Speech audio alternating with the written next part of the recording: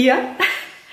Unser Kühlschrank ist da. Und Hermes hat unseren Parkettboden verkratzt. Pyjamas sind ja normalerweise nicht so cool oder nicht so sexy und sieht richtig, richtig geil aus. Ja, sorry, muss ich jetzt mal sagen. Hello, hello! Schön, dass ihr wieder mit dabei seid. Wir sind wieder in Deutschland. Jetzt denkt ihr euch ja, wie? Ihr seid doch erst weggefahren. Ja, wir waren nur drei Tage in Italien und dazu habe ich euch auch mitgenommen. Am Donnerstag kam ja schon der erste Vlog, aber mein Mann hat die Speicherkarte mitgenommen, sodass ich ähm, jetzt nicht zum Schneiden komme der Videos. Und ihr hättet jetzt kein Sonntagsvideo, wenn ich heute nicht filme. Und deshalb machen wir das Ganze jetzt so. Ich hoffe, ihr freut euch trotzdem auf die weiteren Urlaubsvlogs. Wir waren ja in Lugano, Milano, Verona und in Venedig. Und dazu habe ich euch mitgenommen. Wie gesagt, die Videos dazu kommen dann eben nächste Woche. Schreibt mir gerne mal, ob ihr auch weggefahren seid über Ostern. Schreibt mal den Ort hin, unten in die Kommentare. Vielleicht ist es ja eine Inspiration auch für uns, beziehungsweise für alle, die dies lesen.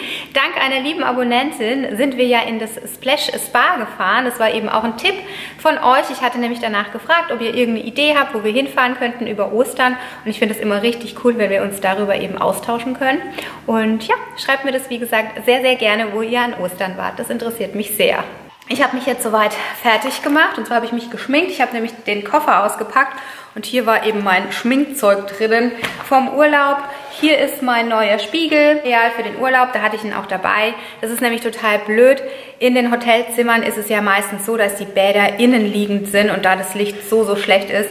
Und mit dem Spiegel hier, den stellt man sich dann einfach ans Fenster und hat mal perfektes Licht. Den muss man einfach nur so zusammenstecken der ist von Amazon und der war von 60 Euro reduziert auf, lasst mich nicht lügen, ich glaube 25.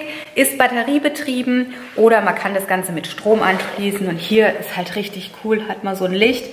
Zweifachvergrößerung und Dreifachvergrößerung, also richtig genial. Ich habe mich jetzt soweit fertig gemacht, wie gesagt, ziemlich spät am Tag schon. Wir haben es schon mittags. Ich koche jetzt auch gleich, weil bei mir ja immer erst der Haushalt dran ist. Und außerdem war ich heute sehr lang in der Waschküche beschäftigt, natürlich, wie es halt so ist, wenn man vom Urlaub kommt. Und deshalb habe ich mich jetzt erst geschminkt. Ich nehme euch jetzt, wie gesagt, wieder eine Runde mit. Ich hoffe, ihr freut euch.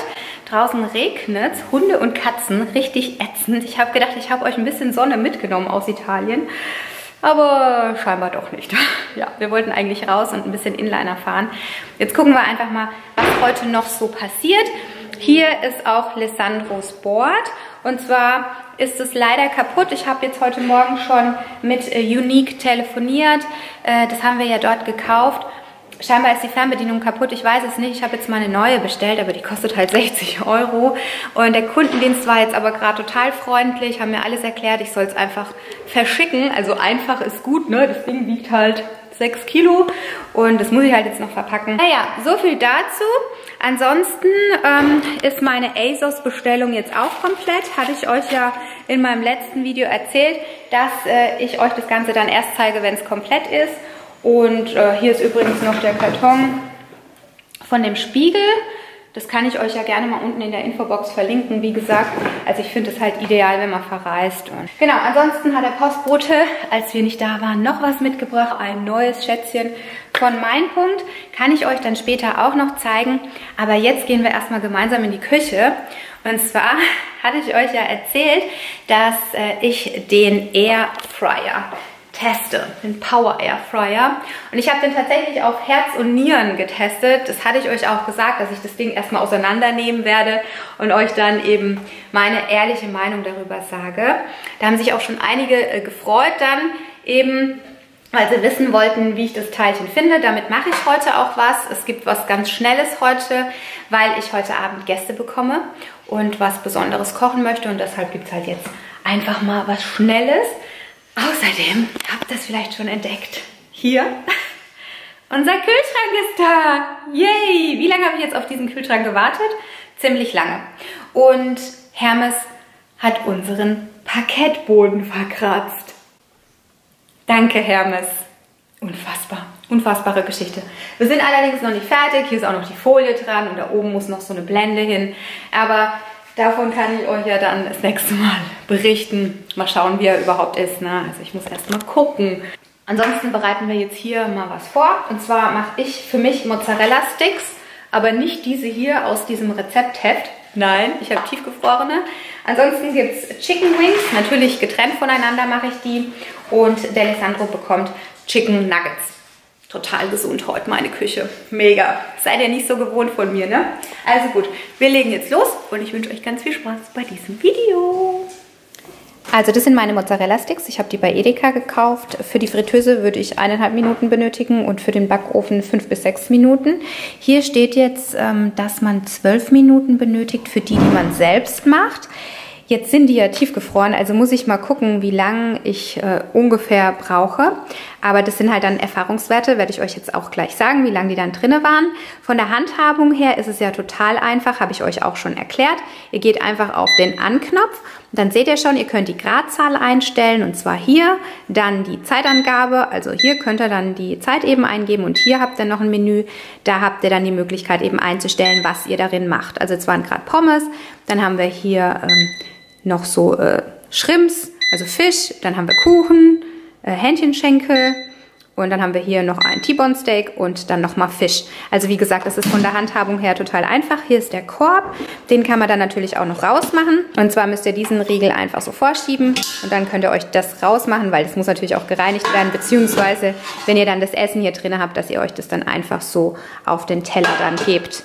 Genau, also wie gesagt, ist total einfach. Und jetzt schauen wir mal, wie lange die Mozzarella-Sticks hier drinnen bleiben müssen. Ansonsten habt ihr hier noch so ein Abtrennteil, dass ihr dann halt verschiedene Sachen machen könnt. So mache ich das dann später, dass ich hier die Chicken Nuggets reinmache und hier eben die Chicken Wings, die hier sind.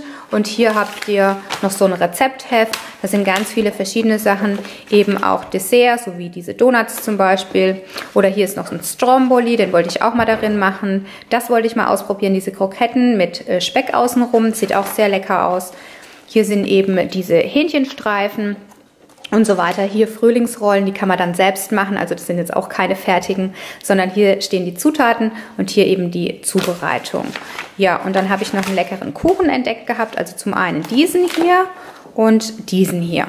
Ja, also sehr vielseitig einsetzbar, das Schätzchen. Also gut, jetzt gucken wir mal, wie lange diese Mozzarella-Sticks brauchen werden. So, ja, das Allerwichtigste ist natürlich, dass man bei diesem Schätzchen kein äh, Fett braucht. Also das ist eine Fritteuse ohne Fett. Wie krass ist das denn?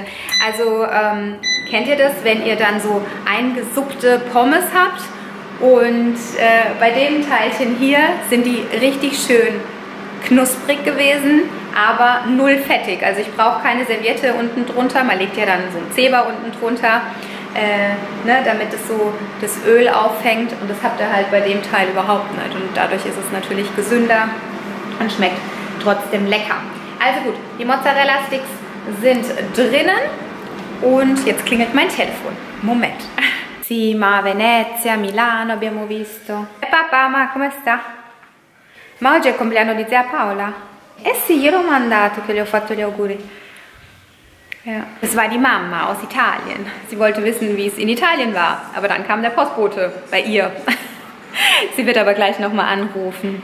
Äh, während die Mozzarella-Sticks im Airfryer sind, kann ich euch ja noch ganz kurz meinen Schmuck zeigen von Malen Punkt. Und da ist auch die Bella. Ha, Bella, gehen wir doch raus Inliner fahren. Ha? Schnallen wir dir Inliner dran? Die Sonne kommt nämlich jetzt raus. Yay! Also, kommen wir zum Schmuck. Der kam an, als wir im Urlaub waren und ich habe das ausgepackt und dachte so, oh mein Gott, wie schön ist das bitte? Jeder, der mich kennt, weiß, dass ich an meiner linken Hand immer am Ringfinger einen großen Ring trage, relativ großen Ring. Hier der Beweis, der ist von Thomas Sabo, den habe ich auch hier liegen. Äh, ja, den liebe ich total, den hat mir mein Mann zu Weihnachten geschenkt. Und der hier, der ist auch richtig schön groß. Und wie schön ist der bitte? Der ist so, so edel. Und wie gesagt, der ist von meinem Punkt. Ich habe dazu auch einen Rabattcode für euch. Und zwar nennt er sich Rosella mir 17. Nein, ich bekomme dafür kein Geld. Dass ich euch das jetzt sage, ich möchte es euch einfach nur mal zeigen. Weil ich eben auch oft danach gefragt werde und den so, so wunderschön finde. Ich habe den in Größe 17 genommen und der passt tatsächlich wie angegossen. Wunder, wunderschön, wirklich. Ja, und jetzt klingelt schon wieder das Telefon. Das ist jetzt scheinbar wieder die Mama. Moment. Moment. Ein Moment. Momento. schon wieder. Ma. Di.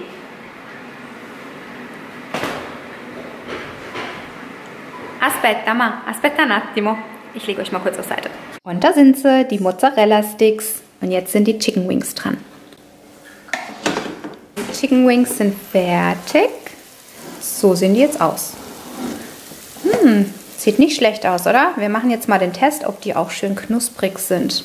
Also das sind die Chicken Wings, richtig knusprig sind die. Hier sind die Chicken Nuggets aus dem Airfryer und hier sind die eben aus der Pfanne. Da ist die Pfanne, weil wir wollten ja nochmal den Test machen. Das haben wir schon gemacht und das hatte ich euch auch auf Instagram gezeigt. Und jetzt Achtung, zeige ich euch mal was, beziehungsweise hört mal kurz zu. Hört ihr das? Wie knusprig die sind. Und die hier, die sind halt total eingesuppt in Fett. Das ist jetzt noch ein bisschen heiß, aber ihr wisst ja, meine Finger sind das gewohnt. Deshalb äh, hier die Serviette drunter, weil die eben voll fett sind. Sieht man hier. Und hier ist eben überhaupt kein Fett. Und die sind trotzdem super knusprig. Wir sind jetzt total voll gefuttert. Und ihr könnt schon sehen, draußen scheint die Sonne. Yeah, sie ist endlich rausgekommen, die Sonne. Wie gesagt, ich habe sie ja mitgebracht aus Italien. Die Sonne ist da. Wie cool ist das denn? Ich nutze jetzt auf jeden Fall sofort die Zeit und gehe mit meinen Mäusen raus zum Inliner fahren. Ich nehme auch die Bella mit. Aber davor wollte ich euch noch ganz kurz meine ASOS-Bestellung zeigen, denn in meinem letzten Video hatte ich euch ja auch äh, eine Art Haul gemacht mit den Dingen, die ich von H&M hatte und von Zara und so weiter. Aber das Licht äh, wird halt immer schlechter natürlich natürlich abends, es war auch 8 Uhr und es wird jetzt heute auch nicht früher, bis ich wieder zu Hause bin. Deshalb jetzt ganz, ganz kurz die ASOS-Bestellung. Und was ich euch noch sagen wollte zu dem Airfryer, ich habe noch einen richtig, richtig krassen Rabattcode für euch bekommen. Und zwar könnt ihr da 20 Euro sparen, was eine ganze Menge Geld ist. Aber nicht nur auf den Airfryer, nein, sondern auf das ganze Sortiment äh, bei Mediashop.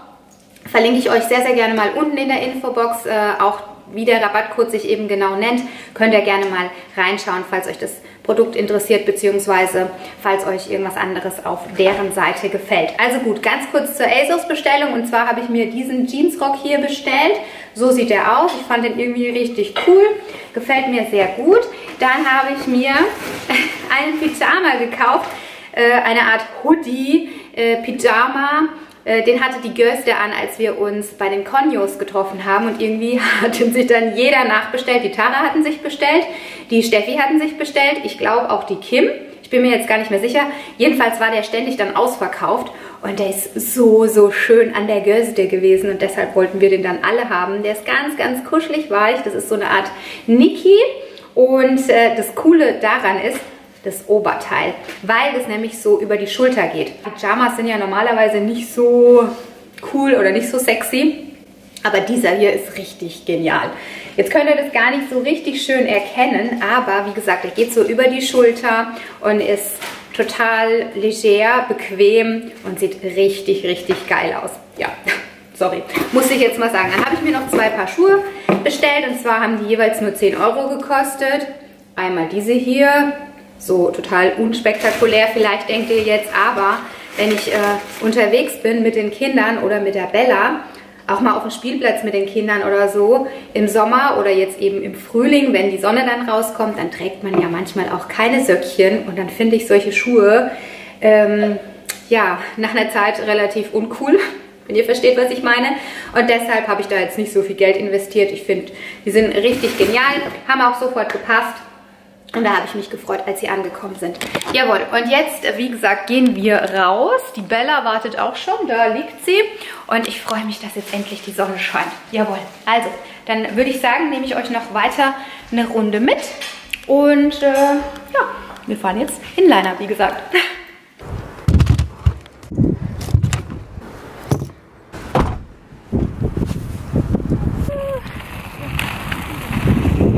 jetzt noch mal heimfahren zusammen mit Lassie, weil es so windig ist und kalt. Jetzt geht's gerade. Ich hoffe, ihr hört mich. Aber wir haben jetzt unbedingt eine Jacke gebraucht, obwohl es so sonnig ist. Aber hey, es gibt kein schlechtes Wetter, nur schlechte Kleidung. Und man muss ja am Tag auch mal rausgehen, ne? Mit den Kindern. Da ist ja der Lassie. Ist dir kalt, Lassie? Nee. Jetzt geht's, ne? Ja, mit Jacke geht's. Und da ist die Bella. Die rennt uns hinterher. Und weiter geht's.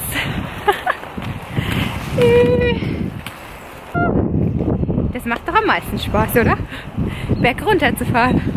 Naja, so ein Berg war das jetzt nicht, aber ich musste nicht anstupsen.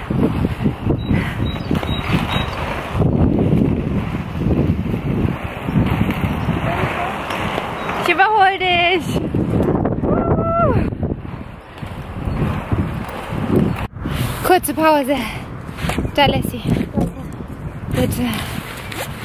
Boah, der Winter macht mich fertig.